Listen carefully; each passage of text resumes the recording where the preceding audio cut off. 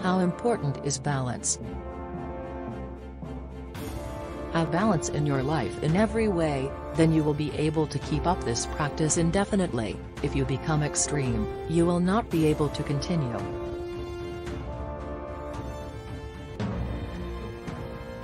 This is Nerd Speak. I am happy to help.